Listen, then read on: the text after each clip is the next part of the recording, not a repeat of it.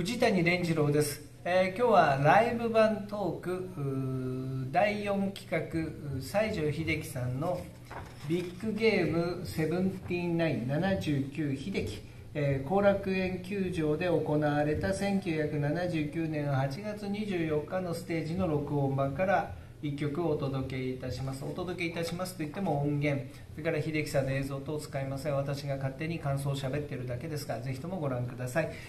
で、えー取り上げる前にまたお願いをしておきます、えーぜひともこうして、えーこの動画をご覧いただいている方はチャンネル登録の方をお願いいたします、えー西城秀樹さんに関してもこだわって、えーずっと取り上げてまいりました。結構な数になっているとは思うんですが、えーぜひともよろしければチャンネル登録をしていただいて、えーまあ、そうしていただけると私が励まされますのでぜひともよろしくお願いします。それでは参ります。今日取り上げる一曲は「Loving You Baby」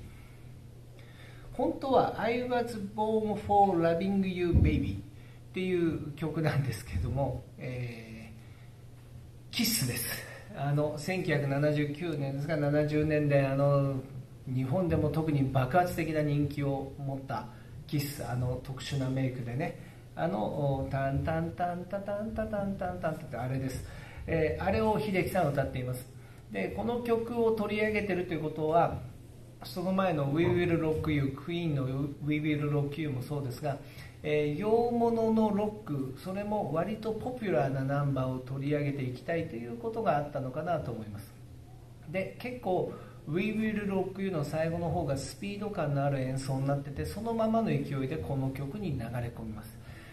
で興味深いのはこれは私の見当違いだったらお詫びしておきますが、えー、とコールレスポンスの「イエーイ!」というのがあって観客が「イエーイ!」と答えるというのがあるんですがその前の「We Will Rock You」なんかはあのよくある膝を叩いてえ地面を蹴ってというところがなくてですね全然観客の反応というのはちょっと印象なかったんですが今度ははっきり聞こえます聞こえるんですが正直言いますとこの雨の中のステージでっていうところで考えてしかもこの家に対する家が結構きちっと入るんですね。おそらくその現場でも秀樹さんがイエーイって言ってるっていうコールレスポンスでやってるってことはおそらくそれもあったんだと思うんですが音取れないかなんかで後でかぶせたんじゃないかなくらいちょっと人工的な感じがします。わーっと出てわーっとすぐ終わるんで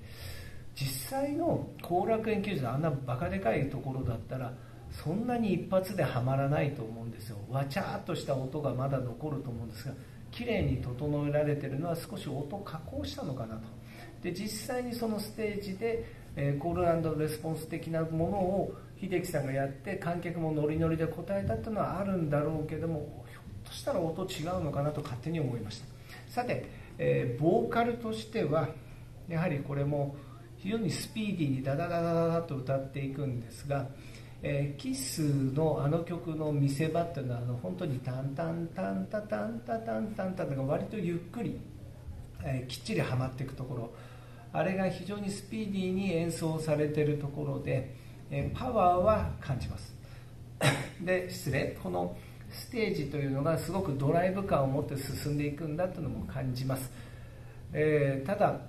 えーちょっと不思議に思うのはこの「We Will Rock You」にしてもこのキスのこの曲にしても、えーどっちかっていうとその洋物の音楽としてはポピュラーなヒットソングを放り込んで、えーかせていくこのヤングマンで一世を風靡している時の秀樹さんですから洋物を取り上げてぐっと盛り上げていくという役目に割り切って選んでる選曲のようにも聞こえたんですけどいかがでしょうか？当時のキッスですから流れてきた時にお客さんがうわーっていうのはそれはそうだろうなと思うんですが、えー僕としてはもう何曲か続くんですけどやっぱりこの当時の秀樹さんですから持ち歌今までの曲でゴンとかましてほしかったなと思ったりはするんですけどね、えーキッスはあ秀樹さんがカバーしなくてもやっぱりいろんな人が歌ってる時代ですからまあこのポップなところで盛り上げてっていうところはあったのかもしれませんがえまあ、まだ何曲か洋物が続きますけど私としてはやっぱり秀樹オリジナルを聴きたいところではあるなと思ってしまったりします「Will Rock You」もこのまあえー、Loving You Baby でもそうなんだけどでもまだちょっと続きますんでよろしくお願いします。今日は、えー、秀樹さんの西城秀樹さんのビッグゲーム